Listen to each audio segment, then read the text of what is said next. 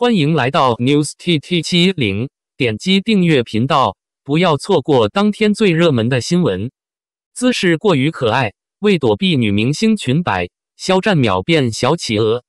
大型晚会上，所有的女明星都会争奇斗艳的盛装出行，对于粉丝们来说是一场视觉盛宴。但是对于需要同行上台的明星们来讲，就极其容易造成困扰。比如长腿任性的肖战，在二十八日的微博之夜上就遭遇滑铁卢。由于余生剧组的关系，肖战跟小猴子杨紫坐在一起，并一同登台亮相。但在亮相的时候，肖战为了避免踩上杨紫的超大裙摆，只能像小企鹅一样在后边小碎步跟着。姿势过于可爱，搞得粉丝们纷纷截屏留念，并称之为百年难遇的现场。当日，女明星们的着装各式各样，但大多数都是大裙摆拖地款式的。杨紫一身粉色露背长裙，显得她肤白胜雪，更衬得她典雅非凡，像是灯光下一颗闪闪发光的钻石。但好看也是有代价的，那就是杨紫行走起来极其不便。在登台的过程中，杨紫和肖战同行，作为男嘉宾的肖战自然而然地承担起了为搭档提裙子的责任。于是，肖战和裙子较劲的故事开始了。从现场发回来的视频和照片，粉丝们也都知道了。由于肖战提裙子的速度赶不上杨紫行走的速度，最后肖战还是提了个寂寞。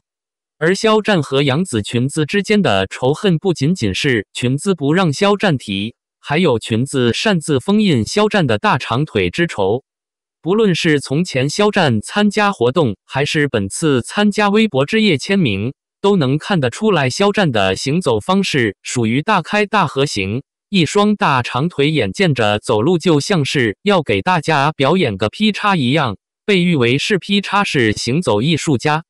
但是本次登台，由于杨紫的裙子完全挡住了肖战所有前进空间，所以裙子不让提不说，还仅仅只给肖战留了一丢丢的下脚之处。多迈一点就要踩到美女的裙子，少迈一点的话又不符合自己的风格。最后给肖战挤兑的，只能快速的迈着小碎步护送杨紫登台。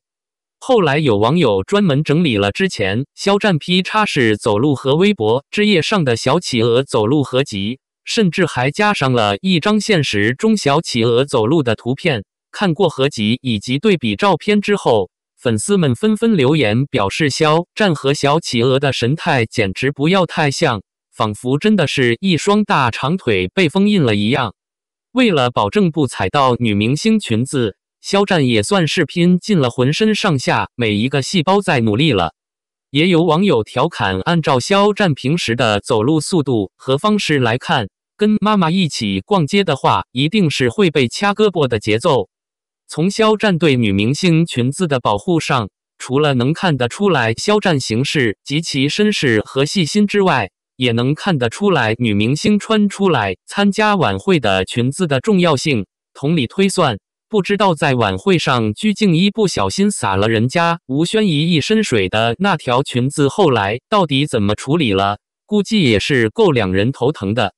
如此看来，杨紫跟肖战两人搭档一起上台，实在是太幸运了，因为可以安全无虞的行走，还附赠提裙子，外加小企鹅保护。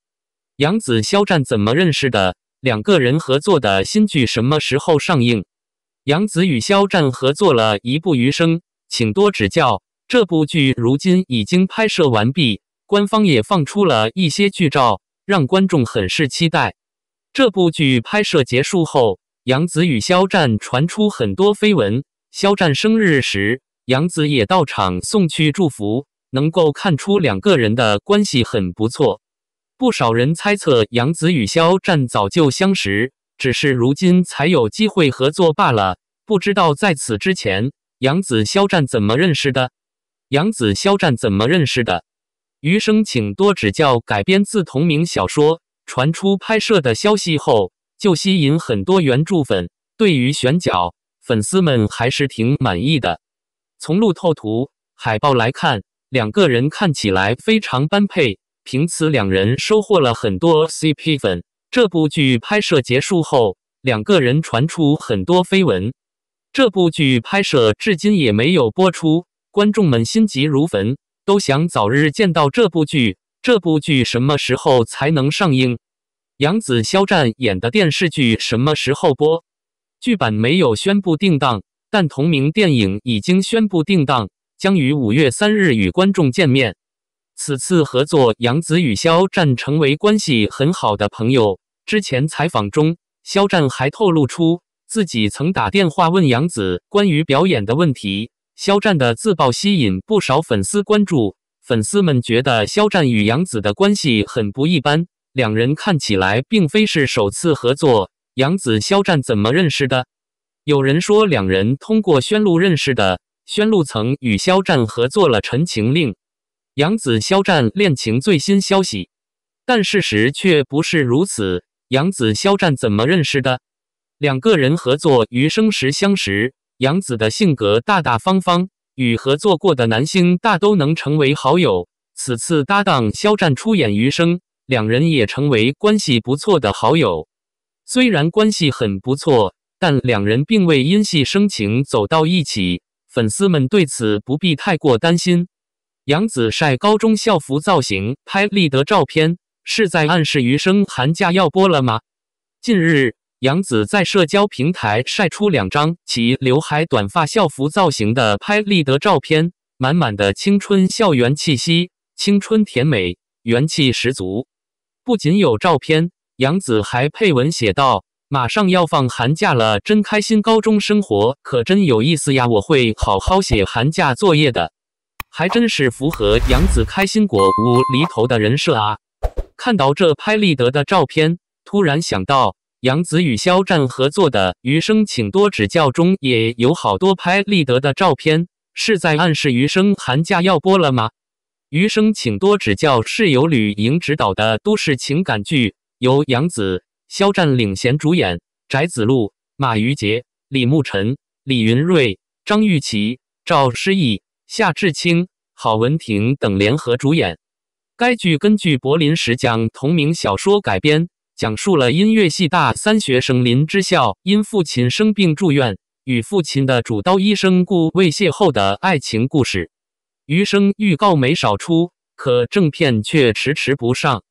今年腾讯星光大赏时，两位主演杨紫和肖战同台合体演唱了《余生》的主题曲和插曲。在东方跨年的舞台上，虽没有合作，但是也有互动，甜度满满，CP 感十足，好期待余生的播出啊！